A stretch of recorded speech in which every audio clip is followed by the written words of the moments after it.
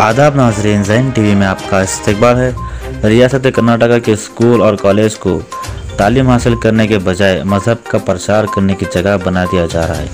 हुकूमत और आवाम को ये समझना चाहिए कि तालीमी इदारे किस लिए क़ायम किए गए हैं।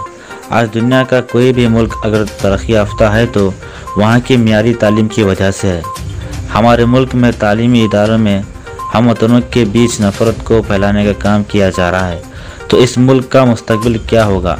इस बात के लिए न सिर्फ़ वो तलबा जो स्कूल और कॉलेज में तालीम हासिल करने की जगह बचपन से एक दूसरे के साथ पढ़ते हैं, इल्म हासिल कर रहे हैं, काबिल बनकर जो अपने परिवार और अपने समाज का मुस्तबिल रोशन कर सकते हैं, लेकिन इसकी जगह अपने परिवार और अपने समाज को नफ़रत की आग में जलाकर तारीखियों में डुबाने का काम आज रियासत के स्कूल और कॉलेज में हो रहा है।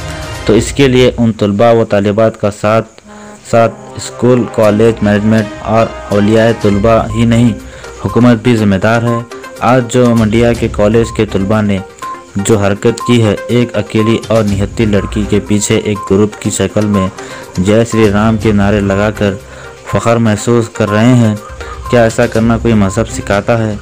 बिल्कुल नहीं, बल्कि उन तलबा की इस हरकत से रियासत की आवाम के लिए पूरे मुल्क में शर्मसार कर दिया।